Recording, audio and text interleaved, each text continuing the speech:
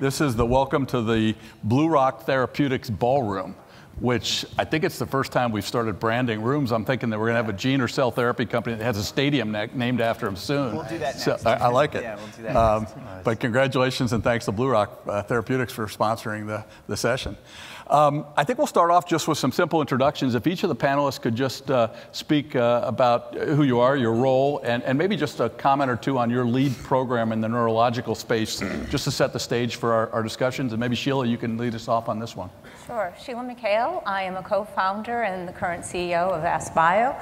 I previously have run other companies in the gene therapy space, Chatham Therapeutics, which was focused on the advancement of a therapeutic for hemophilia, uh, Bamboo Therapeutics, which uh, was sold to Pfizer, and that uh, was working on uh, Duchenne's muscular dystrophy.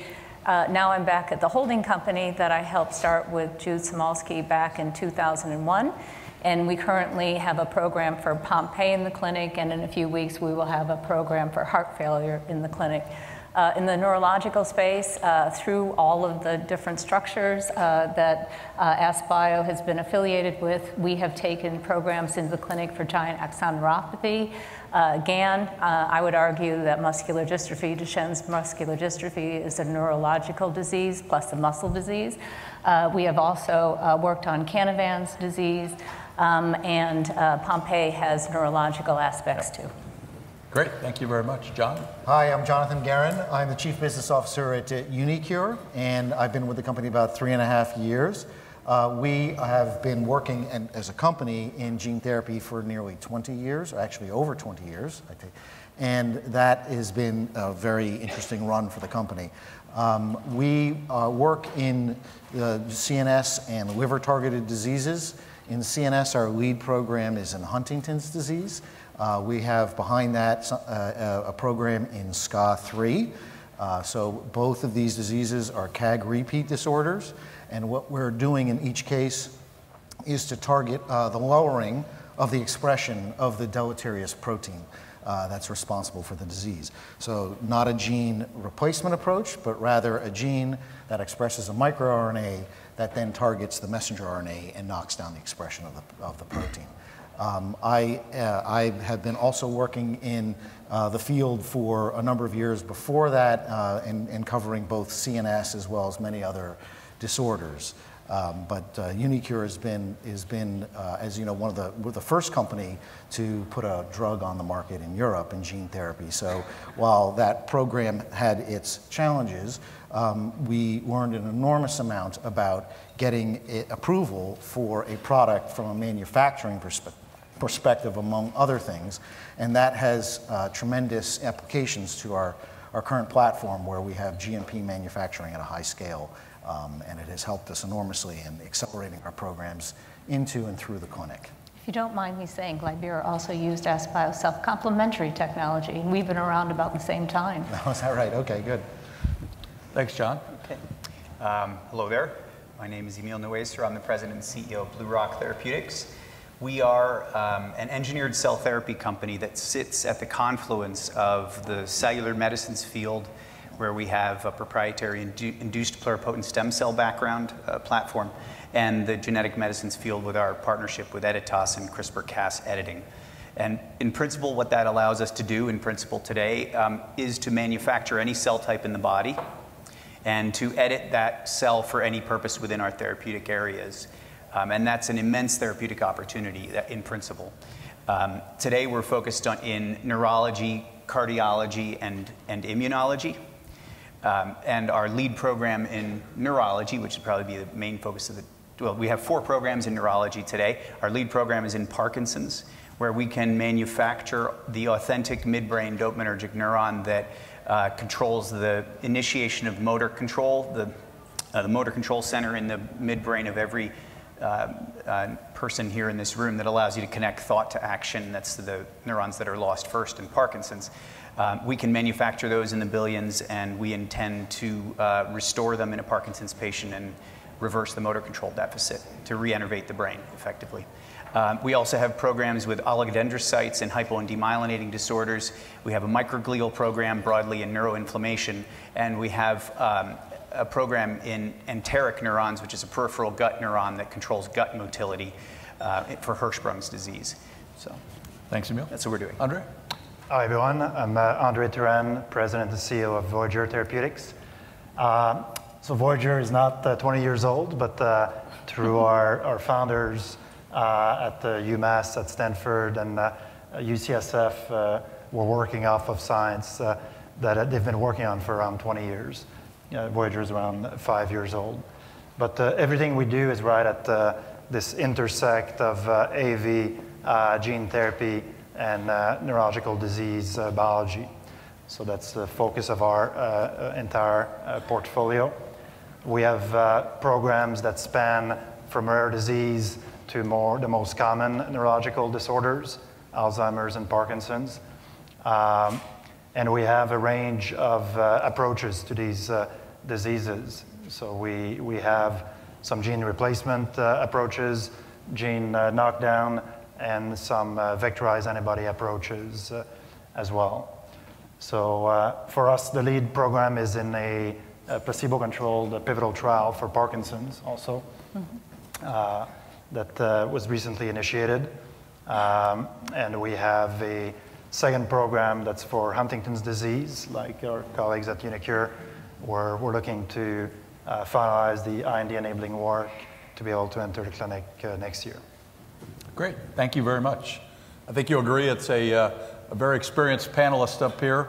Uh, I think Sandy McRae in the last session uh, from uh, Sangamo made the comment that neurology is maybe a forgotten field in the gene and cell therapy arena, and I would argue that we have four of the most experienced and successful companies represented here. So one of the things we'll do is we have a series of discussion points and we'll bounce around as to who uh, starts us off and everybody doesn't have to necessarily uh, weigh in on each point. But we will lead about 10 to 15 minutes worth of conversation for the audience. Uh, so feel free to uh, think of your uh, questions you want to direct to this uh, expert group up here. Um, let's, let's start specifically with neurological disorders and cell and gene therapy. And let's discuss the advantages of those treatments over more traditional approaches and uh, John, we'll, we'll, start with you. How's that? Sure. Um, so, with respect to, to CNS disorders, as far as gene therapy is concerned, one of the clear advantages that you get with gene therapy is the ability to have sustained levels. That's true really in any disorder. Um, and also potentially uh, access to certain regions of the CNS that you might not easily be able to get access to um, uh, with, with therapies that are not gene therapy. So that, that that certainly fundamentally is one of the key advantages of, of, of a gene therapy approach. Um, in CNS, it is very difficult to measure PD effect for any, any product. Um, so that's also a common challenge for gene therapy.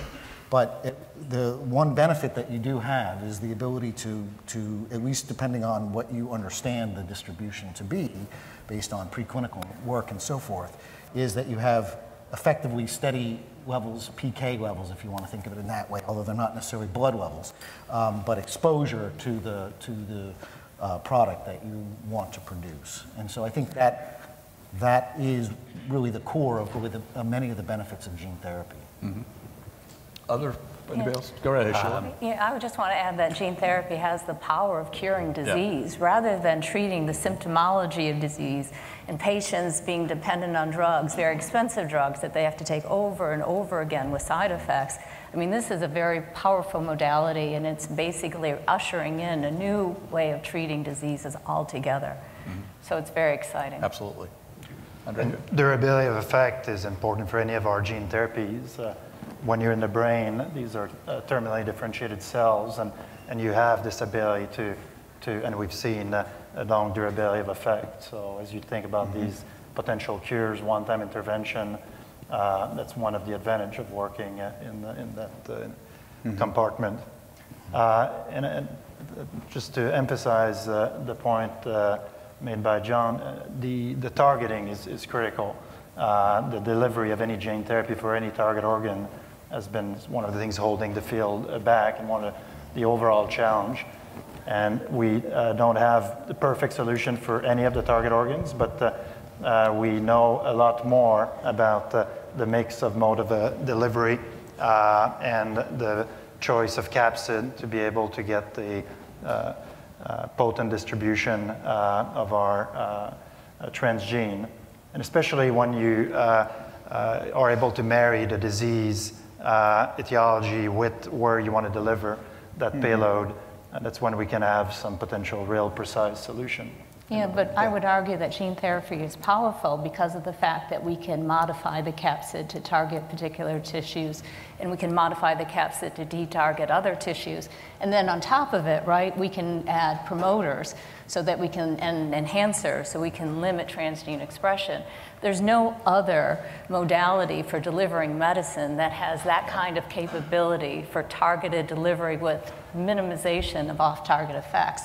And I think even though we're just beginning, right, to advance beyond the natural serotypes of 1 through 12 right. to make chimerics, I mean, the future will have more targeted precision for therapeutics to particular cells within the brain.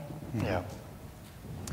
Yeah, I would, I would add ahead, simply that uh, from our point of view as a cell therapy company, that um, the advantage of a cell is uh, in the CNS is the same as the advantage of a cell in periphery. It's the native language of biology, and it's been evolving for four billion years. Um, so, you know, to be able to harness that as a therapeutic, it's this incredible sensing device. It takes in billions of inputs to produce an output, in, in our case, dopamine metabolism. But if you gave the best engineers on the planet a trillion dollars, they could not engineer a midbrain dopaminergic neuron from scratch. But we can harvest, we can harness that power with an mm. induced pluripotent stem cell. So that's something profoundly different um, that a cell offers.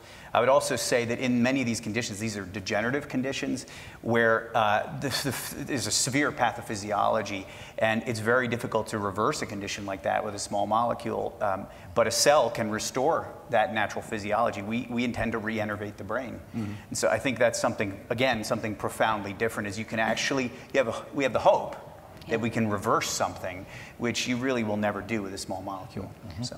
But can I just sure. add a point to that? We've seen in gene therapy that you can reverse disease. Uh, in our own GAN uh, trial, we saw that we were able to rejuvenate neurons uh, and nerves.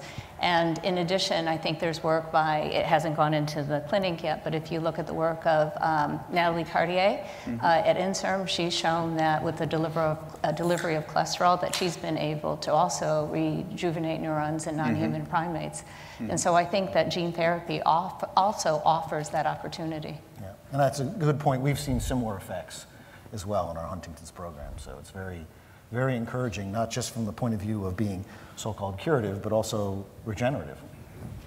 And to stay with that topic, but maybe flip it, you know, we've talked about uh, potential advantages of, of, cell and gene therapy. Um, maybe challenges that you've incurred. Mm-hmm. You know, what comes to mind if we're sitting next door in an immuno-oncology uh, discussion like this is no knock on the immuno-oncology, but in many of those cases, we have treatments for those diseases. When I think of Huntington's and ALS and right. Parkinson's, things like that, we either have no treatments or we, we, we have right. things that don't work at all. Obviously, it comes to mind things like we don't have good control groups, you know, things mm-hmm. like that. But I'm curious each of you to yep. maybe maybe talk a little bit about your challenges that you've had specific to this uh, pathway that you've gone down. Uh, in part, uh, it's back to the ability to deliver therapeutic payloads yep. uh, to, the, to the right cells. So mm-hmm.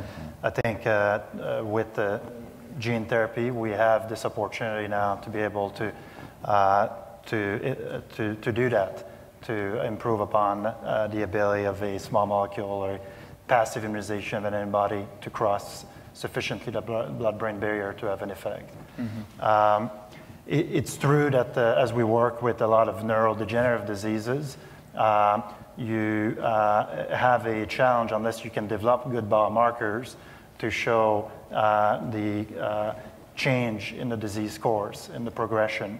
That's a challenge of the field, but again, as we develop potent therapies, potential cures for certain disease, it uh, gives us this ability to be able to capture early clinical readouts to, through you know, whether it's fluid biomarkers or imaging biomarkers. Um, but that's, that's a, something that's going to allow the field mm-hmm. to move forward.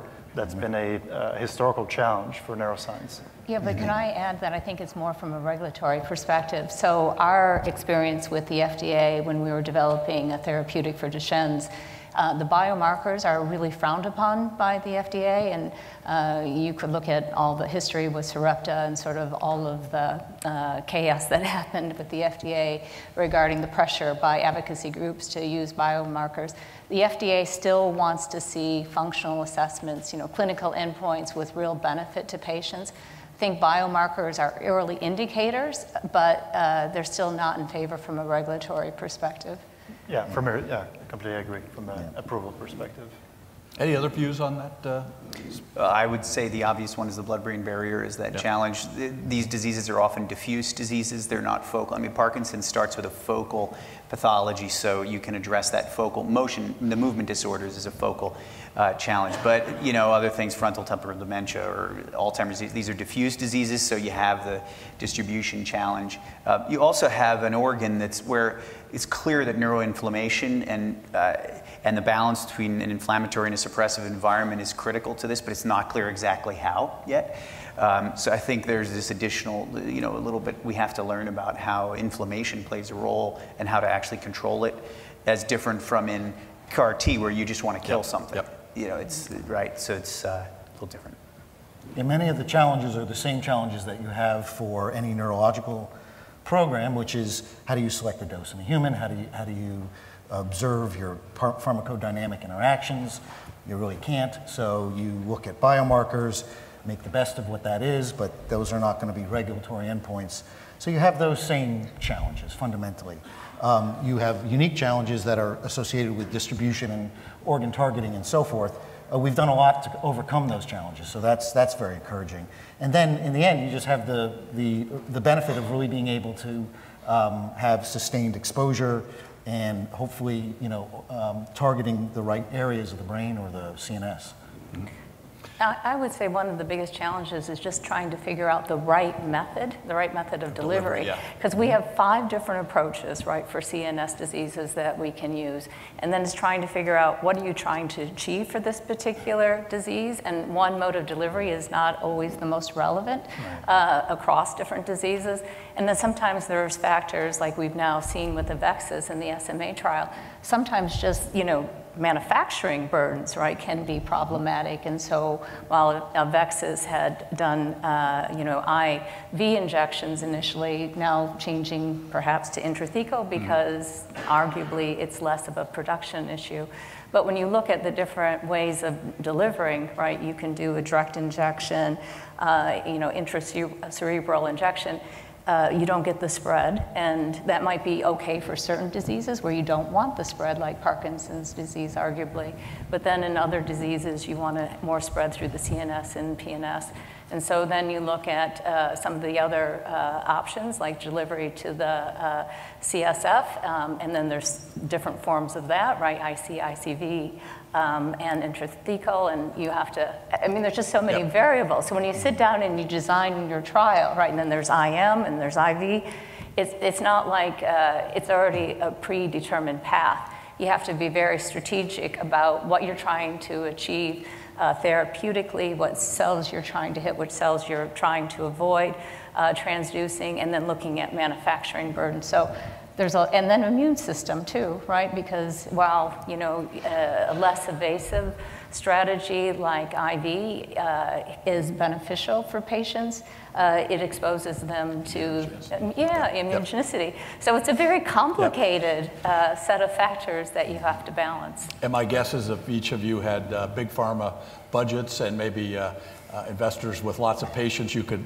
be a, a bit more, uh, uh, you'd have the ability to, to, to assess all those things as opposed to having to use the hockey analogy of one shot on goal and hopefully making the best choice. So, um, you know, as the, as the chair, I, I think there are certain questions that sort of are obvious and, and ones that are expected, but I want to maybe do something a little bit different for, for some of the audience. So this is a pretty interesting group. We've got public companies and private companies. We've got founders. We've got individuals who came in later. Uh, just from a personal standpoint, I'm curious, what attracted you, other than the obvious Yeah. of curing diseases? Beyond that, what attracted you to go into the role or the company that you're in right now? Yeah. now? Yeah. Emil, you want to? Sure. Um, I think most of the people in this room are lucky enough to be able to choose what job they take. And for me personally, it was about having a job and a career and all those things that every human, I suppose, wants, but having a mission, having something that's worth doing. And for me, um, you know, I, I, believe in this mode of therapy. I believe that it's going to be transformative. Um, and I've seen Parkinson's up close, and I want to do something about it. I've seen it three times now up close, and uh, it's just unacceptable. It's just unacceptable. We've got to do better. And I am incredibly optimistic about everything in, that we're doing, we and everybody on this panel and everybody in this room.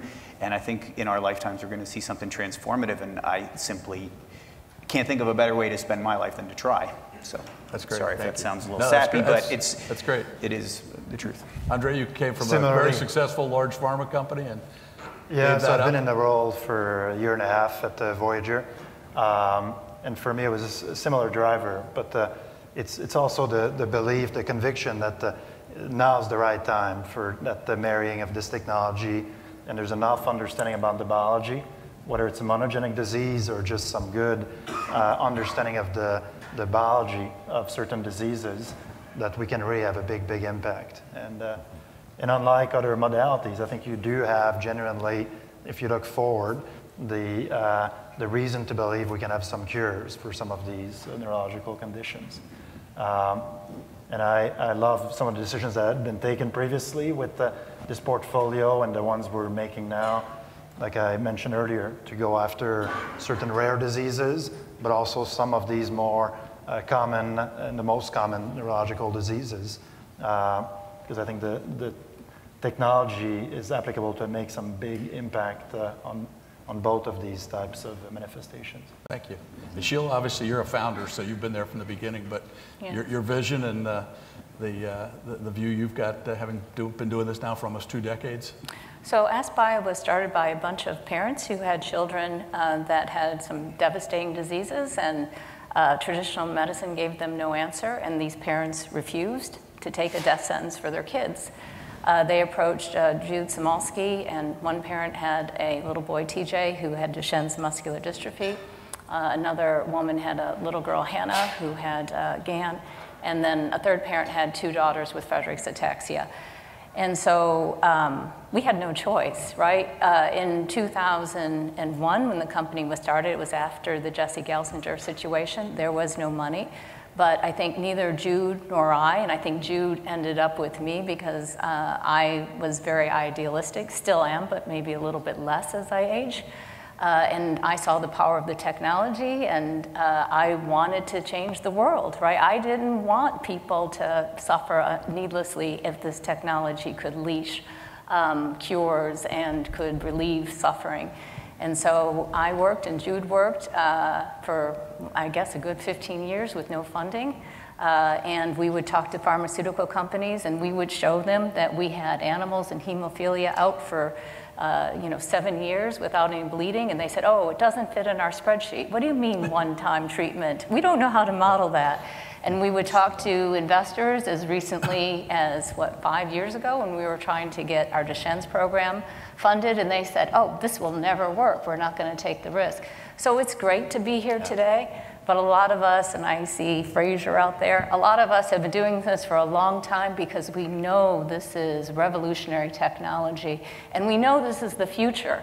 It is going to displace uh, the way that we uh, have traditionally treated patients, and it's going to have such a big impact. Uh, people are going to do better, they're going to feel better, they're going to live better.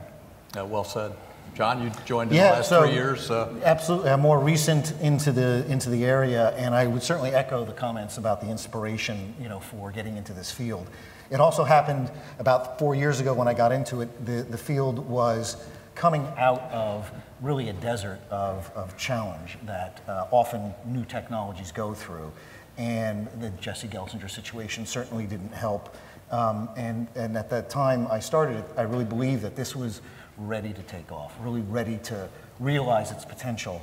And as it turned out, it has exploded, and that's fantastic. So I felt that the timing was really good, and it really has been the case, and that's very, very rewarding.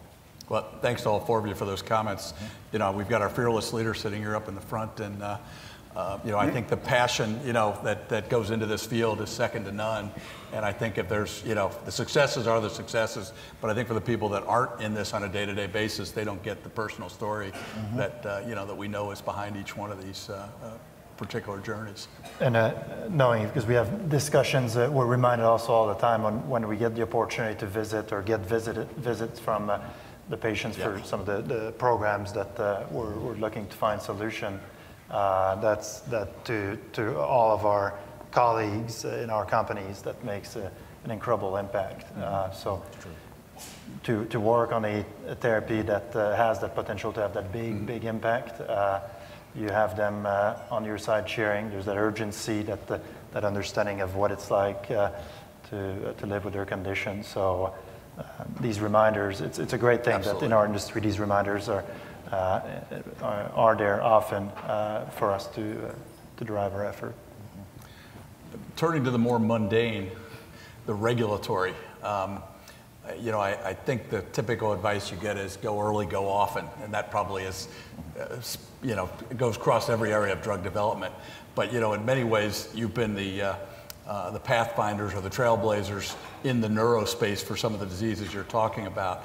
I wonder specific if there's any, any advice or any guidance, somebody new to the field just thinking about developing a, a gene or cell program in neuro, what would you tell them about, about your regulatory interactions and what you've learned from it, what you might do different today?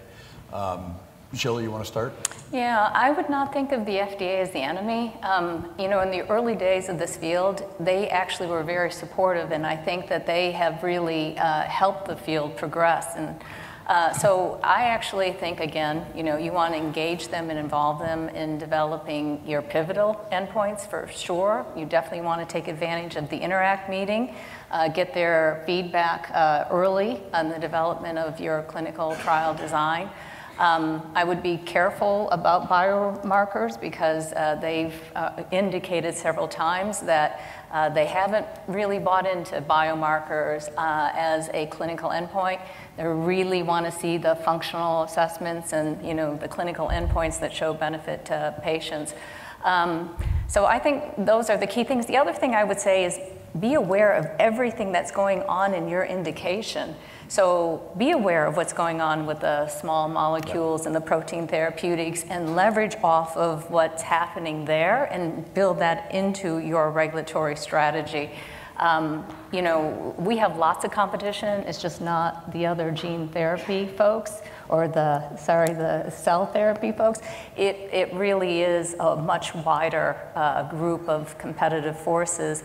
But what they're doing, right, and getting their drugs approved can be learning points for, mm-hmm. for us. Any other uh, views?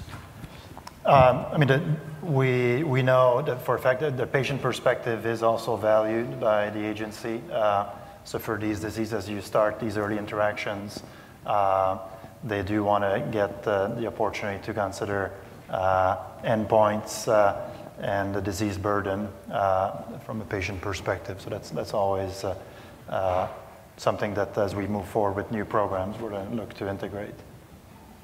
The FDA has been very encouraging about, about yeah. engagement, and, yeah. and you should definitely take them up on it. They've also been very helpful and not punitive in, in the way that they have guided and, and the things that they are they're trying to help. They're trying to be a partner in this area, and, and that's been a tremendously positive experience. Yeah.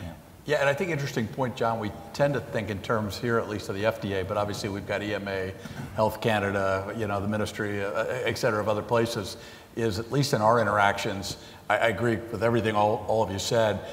You know, what we are starting to see is more consistency across uh, organizations, whereas in the uh, earlier days, maybe just four or five or six years ago, we would see one set of uh, guidance come from one regulatory agency, and then you'd go to a second one, and it would be either inconsistent or sometimes completely opposite, and you were left scratching your head of, okay, how do we handle this, other than not doing the study in that region, which is what many companies ultimately did. If they didn't get the advice they were looking for, or the suggestions, they sometimes would run from it, at least right. for the proof of concept. But right. A um, couple of uh, comments have been made already about study design.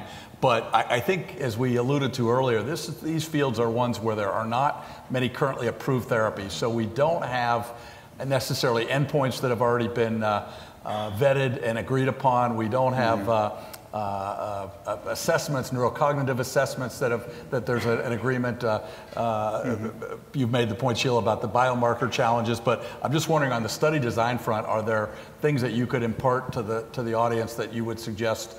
Either you do this, you would do it over again the way you have, or you would consider something different. maybe start at the end there, Andre. You want to?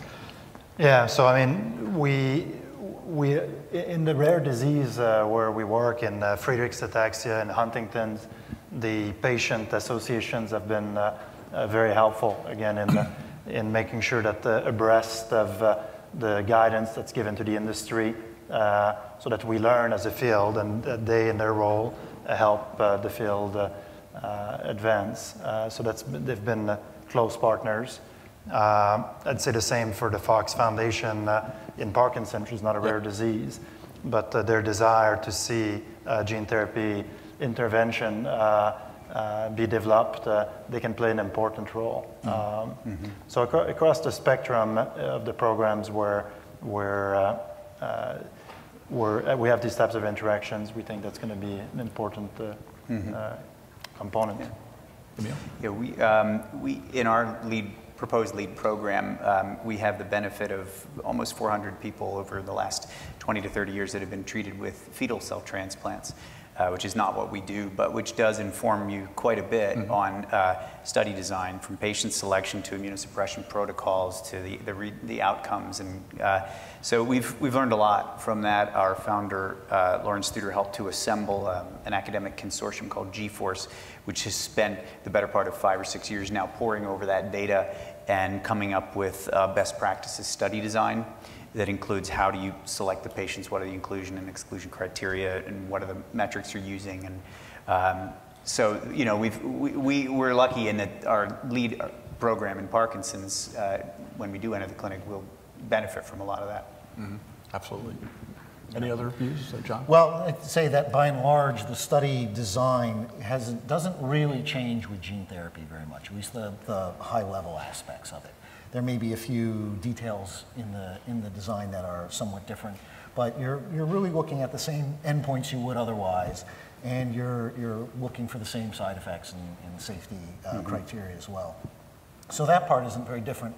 But we also have the benefit of a uh, orphan area that has yeah. had a lot of cooperation by the FDA as well to try to get things to advance in the absence of large populations and, and a lot of data and so forth. So um, with gene therapy, the clinical design isn't really very effective. Mm. So I have one point I'd like to make, and I think, uh, again, we've learned a lot from the SMA trials. Uh, one thing that I think uh, is evident, and we've seen this too in our own advancement in the clinic, if we can treat earlier, it's better. So for genetic defects, uh, you avoid issues associated with the immune system if you go earlier. Manufacturing burdens are less uh, burdensome. Um, and uh, fundamentally, you just have a much greater impact. Uh, as the disease progresses, it's harder to rescue and rejuvenate uh, neurons in particular, right? Uh, and so, uh, again, earlier is better on your genetic diseases. That's a really interesting point. Andrea, I wanted to circle back to something you said. My firm, uh, we've been in the rare diseases for our, our entire 20 years. And one of the things that we've seen that's really been impactful and changed in the last 10 years, not specific to gene and cell therapy, but in rare diseases, is the issue of social media. Uh, you know, it used to be, we said to, to uh, uh, anybody in the industry, be quiet, start your program, be under the radar screen, get your results, then go out there and trumpet the results. Now, before you even start, you know, whether it's the advocacy groups, the key opinion yeah. leaders, uh, the, the academic centers of excellence, they know about it about as soon as you do, and they're approaching you saying, we have patients, right. or I am a patient, and it's interesting to see how social media, I think, has changed for the positive, the identification of these rare disease populations, maybe even guided us as to which countries, which centers we should consider opening for studies, so I, I do think that's an interesting observation as well. Yeah, it's a great observation. Uh, and, and they are, uh, that's a big enabler for us to, to be better connected to that patient community. Uh, they are eager to uh, get information about the different uh, ther- therapeutic modalities, to learn about gene therapy in the case uh, where it's relevant here. I think it accelerates what we can do uh, into in terms of movement into the clinic, um, this ability to uh, to engage through social media and the way that uh, they are staying informed, even as we work preclinically on our programs. Uh, so it, is it a can certainly shift. cause some interesting things in the open label studies Yeah. because obviously the data can sometimes uh, be uh, communicated or misconstrued. Uh, No, absolutely. So I think there's, uh, and, and one thing that's true is that uh, any comment made in any, any setting, that uh, it's always, I mean, our primary audience is looking to, to, to find solutions for these, uh, these issues. So whether you're in an investor uh, setting, uh, a, a meeting uh, like this, uh, or uh, speaking with uh, the patient, everything in the end, uh, information is shared. Um, so it's important uh, to, uh, to, to understand how, how to make best make this. Uh, Yeah, but there's also a risk, I think. I think in some ways, right, we're overhyping the programs before we have the clinical data. And our uh, phase one, two usually have just a few patients. I think, unfortunately, um, a lot of people are very desperate, uh, parents in particular, where there's no treatment for a lot of these devastating diseases. And we have to be careful not to use social media to uh, overhype right? A few clinical uh, data points. Um, I mean, you can even see now in the Duchenne's uh, trials with the uh, complementary uh, cascade issue on a few patients being identified. It's not a slam dunk yet. The science is still evolving as we extrapolate to larger numbers. There are going to be unexpected things that occur. And I think we should just be responsible in the messages that we're communicating. It's exciting. Uh, it has a lot of potential, um, but everybody should be aware that there will be some problems. There will be hurdles along the way, and to overpromise, uh, you know, the results, I think does a disservice to the field. And we've already had enough difficulties in this field. We don't need any more uh, setbacks like that. But also to patients and parents who are desperate for answers. We just have to be careful about what we communicate. And as you know, many times, Sheila, I mean, your point is dead on, but sometimes it's not the company that's doing this. It ends up being some, you know, individuals, and unfortunately, they take on a life of their own, and, and we're left with it. We so. can. There, there, although it's not necessarily social media, there are some very well-organized patient organizations that, that can be extremely, extremely helpful. Mm-hmm. And, and Huntington's disease, there's a patient organization that actually put, that work, came together and made itself available to companies, advising them on their trials, giving patient experience, helping to identify patients to including trials, and many, many other things that was pre, pre, uh, pre-available essentially and already prepared for companies to then take advantage of. Something like that, if it's done well and properly and, and not, you know, taking um, information inappropriately, spreading it and so forth, it is really very, very powerful. So I think, like anything, if it's used Yep. the right way, it's, it's very good. If not, it's a problem. Um, I, I want to ask a selfish question here because I want to learn from the four of you.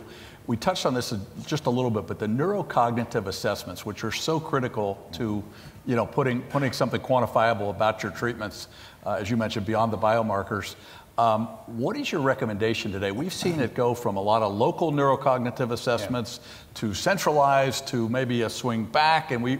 I don't know that there's a standard, but I'm curious if either any of you have a, a strong opinion or have had experience where you'd make a recommendation on that. I wouldn't make, a rec- make a recommendation on that. I'd say we're, we're specifically not addressing the cognitive uh, side of Parkinson's in the LEAD program, where we're, we're focused on the motor control deficits. So uh, the endpoints, the study design, inclusion and exclusion, all the measurements, everything are focused on the motion, on the movement disorders. Yeah, our lead program also in Parkinson, it's Mm-hmm. the same uh, development approach. I mean, you do have some capture of some of the other Mm-hmm. uh, uh, morbidities uh, that, uh, Mm-hmm. the, that come with the disease that are captured in some of the broader assessments, but uh, the, the main uh, endpoints we're capturing are motor function endpoints. Do any of you see uh, wearables, implantables uh, in, the, in the near future for your development programs? Yes, Yep, Yeah, absolutely. Yes. absolutely. yeah. Um, one last question, and then we'll open it up to the audience uh, for the last uh, 15 minutes or so. But I wonder if, if any of you can speak, and, and, obviously we're you know in relatively early clinical programs here, but we do have some some uh, pivotal uh, programs that are being initiated. But the, the value proposition for the payers, mm-hmm. what have what have your firms been thinking? Have you engaged in those discussions? How yeah. important is, is is data for this discussion?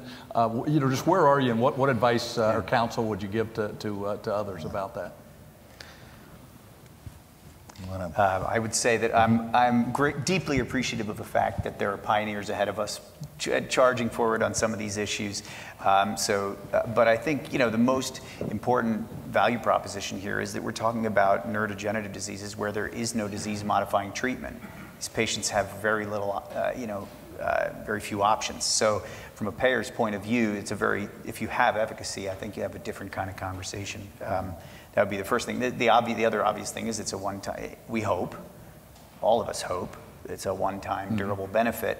So that's something profoundly uh, valuable and important. So uh, we, we are not engaged in that yet because it's too early for us. We're not even in a trial yet. So, um, but you know, I think those would be the kinds of things, should we be lucky enough to get there, that uh, it'll be the topic of the conversation. So I think I have a very contrarian view on it. I'm actually not happy that we're charging so much for our therapeutics. I understand the value proposition and one-time treatment, but I want our drugs to be accessible. I don't want our drugs just to be accessible to people in the US and in Europe. I want our drugs to be accessible to every child that needs them wherever they may be located.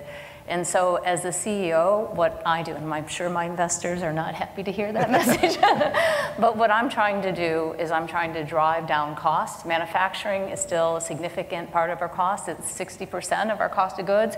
So, how do I get manufacturing costs down? I got to increase the yield. And Fraser, we were talking earlier about stable package cell line. I'm working like crazy to get a stable package cell line, not in the R&D phase, not in the clinical phase, but in the commercial phase, right?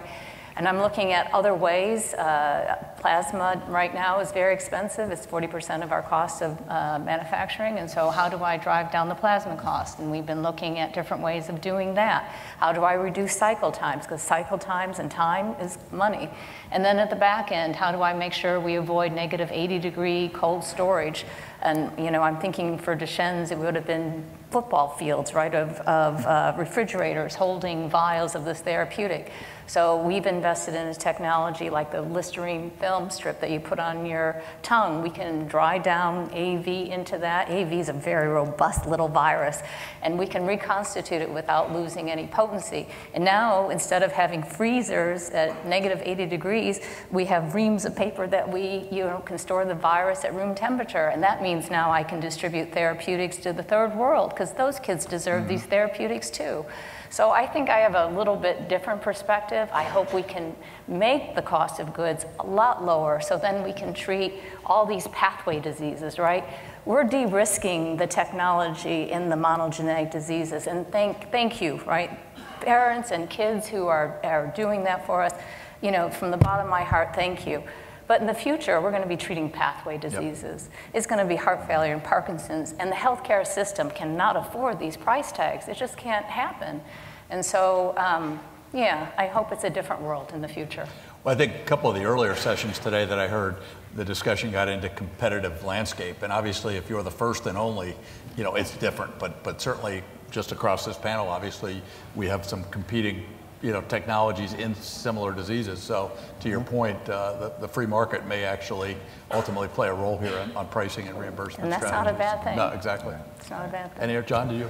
Well, certainly from a value proposition perspective, there's no question that neurodegenerative diseases in particular really don't have any strong treatments right now. There's some symptomatic therapies here and there, but there's a huge unmet need. So clearly that's a key component of of the value that you're bringing to, to, to patients. That, that uh, is, I think, very tangible, uh, but it does take time to demonstrate it and, and the extent are you, are you halting the course of a disease? Yep. Are you reversing the course of disease? Or are you slowing the course of the disease? I mean, that's going to be the first question that really comes up when you look at your value proposition. And those are three very distinct different value propositions. So I think part of it is we need to demonstrate the value and what does that look like. And then we can talk a little bit more about all the components that factor in over and beyond, you know, the, uh, the that, that obvious um, improvement of the quality of life, improvement of uh, patients' lives.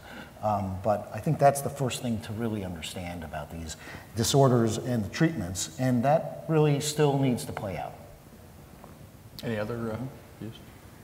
I think one of the interesting things I heard, uh, this was probably six or seven, maybe even eight years ago over in Europe, uh, it was a reimbursement panel, one of the early ARM programs over there that I happened to be chairing, and, and it was payers from several of the, of the uh, European countries. And we got into what was viewed, at least from the US perspective, as something very controversial, which was risk sharing and deferred payment.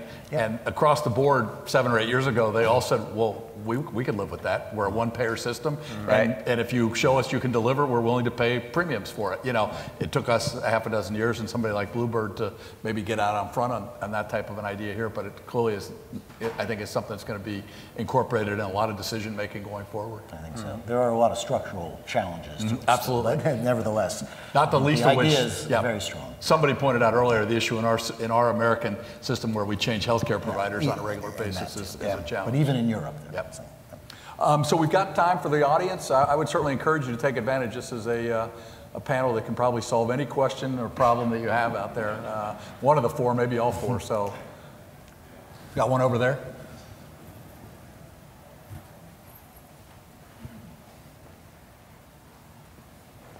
You line up the second question can, over here somewhere. Cube. Yeah. Can, you should just pass it. Exactly. Yeah. Just pass it around. Yes. How are you? Thank you so much for a, for a great panel discussion. I would love to hear a little bit more on that last point. You're talking really about the development of much longer term data in regard to the value of our therapies. And I wonder if, if some of you might like to comment on how you're going about that in one or two of the specific programs that you're working on. I've seen registry elements going on for decades with things that I've worked with, and as a neurologist, I've seen a lot of these measures develop over time, but I really think it is exciting to see you all having this specific discussion today. I think it's really meaningful and will underscore a lot of the reimbursement challenge and other issues that we're talking about in the next two years. That's a good point. So our lead program for Parkinson's, uh, we we are starting relatively early with that uh, overall evidence generation. So the, the pivotal is placebo control, so there's a sham surgery, and that's going to be ultimately our best evidence of the impact it has on the disease. But we have uh, clinical experience uh, some years out now. Some patients were treated years ago uh, with in a phase one uh, open label. So to have some the appropriate natural history uh, matching cohorts uh, and prospective work, so that these, all this precious data, that long-term efficacy can be put in a better context is one way that we are mm-hmm. investing in the evidence generation because ultimately uh, primary endpoint for us may be 12 months for a pivotal readout but uh, it'd be a shame not to have uh, the four or five year data reasonably well matched to better understand the long-term impact mm-hmm. of the mm-hmm. therapy yeah i think it's very critical to be able to have long-term data, and the way to generate long-term data is to generate it. In other words, it takes time. But, but your phase one, two study is, is essential, and, and so you want to be able to have that connection. Um, you, you may be able to draw some connections in a somewhat modular way to even longer term data that you may have with the same capsid um, that, that may speak to certain aspects of the immunogenicity of that particular capsid and other, other aspects.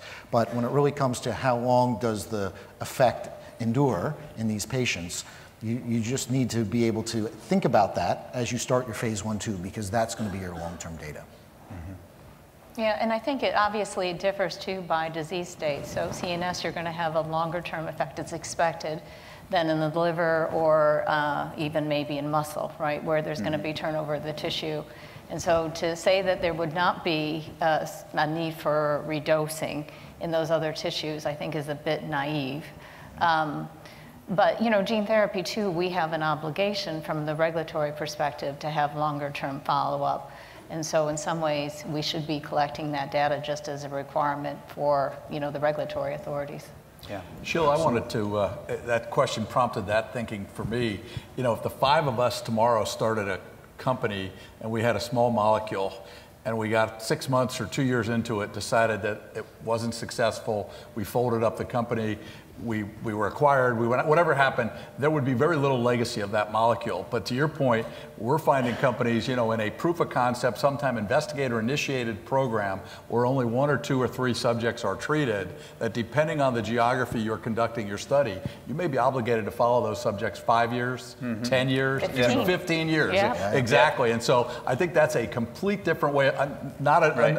I, I, certainly we agree with that philosophy, but it's very different than other drug development, which, mm-hmm. you know, certainly puts a, high premium on uh, how many patients, how long, and what data are you going to get. Yeah. There is no such thing as a loss to follow-up, we say, in a, in a gene or cell therapy program. It's just a missing patient, soon to be found. I think we have another question here. So, um, okay, thank you very much for stimulating, uh, very stimulating discussion. You know, uh, Sheila, especially, you know, for cutting to the chase and several of these issues that have been out there for a long time and they're very important. Um, I do have a question about immunology, and I think you had brought it up and there was discussion around. Um, uh, about the immunology, and I guess the concept that in many of these one and done scenarios, a flip side of it is these subjects who actually do receive a gene therapy, especially viral vector gene therapy, probably cannot be retreated, at least with our current technologies. So I think there's a really high bar to try to do our very best. Um, I'm not sure uh, if any of the uh, panel members could comment on um, how we should view this. Are there you know, decisions that are made in the vector design, maybe the manufacturing processes, HEK versus baculo? You know, these are decisions that happened to ensure that we avoid you know, trying to um, to uh, permanently altering uh, you know, patients so that they can't really participate subsequently. Mm-hmm. Obviously, we're mm-hmm. trying to move forward in the field in general. We need that information. Yeah. But I think it's a bit of a gnarly issue. Yeah.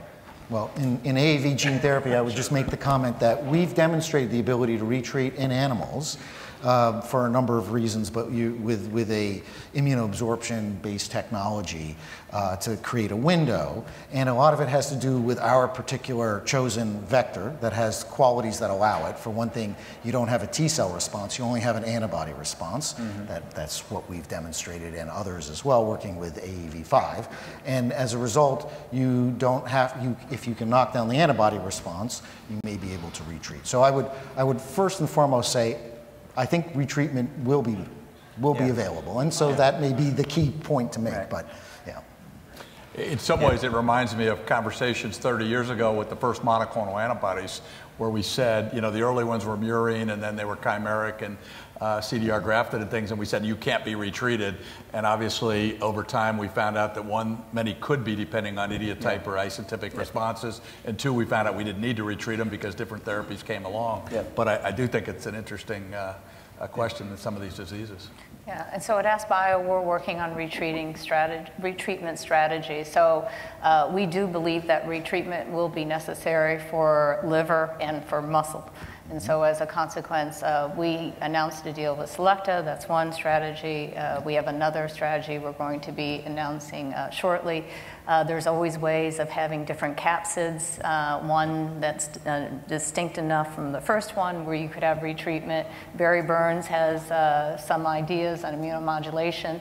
So there's a lot of different strategies. We're going to work it out as a field. There's no doubt about it. We'll, we'll be able to do retreatment. I. Yeah, I mean, I think the, the question for us is a little different because we obviously, I guess the corollary would be HLA sensitization or something if you were to try to redose with a cell. Uh, but, you know, the evidence today suggests, at least in the fetal cell trials, that um, there were 400 people treated with these fetal cell transplants, and there were many experiments within these 400. There were many sites around the world, and they, so you can't really aggregate all the data. But um, in some of those cases, people were weaned off L-DOPA, and 20 years later still had robust grafts in their midbrain. So we know that the graft can persist and that um, it does not require retreatment. That it, you know, the question is why in some patients it was 20 years and the graft was still robust and it was there, versus in others it didn't persist. Um, but you know, we don't, you know, we don't um, anticipate having to redose. Yeah, and sure, I would say the bigger question though is the pre-existing neutralizing antibody, right? I think that's a bigger hurdle mm -hmm. right now for patients. And uh, how do we make sure for given you know therapeutic that as many patients as possible can actually get it. And so I think uh, that's the bigger technical struggle today. Uh, that's where you know we scratch our head a little bit more. Time, maybe one or two more? I see any others here?